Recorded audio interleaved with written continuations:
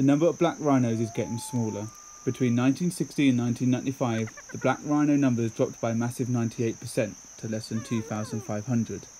Since then, the black rhino has made a comeback from the edge of extinction to around 5,600 today. However, the black rhino is still known to be critically endangered.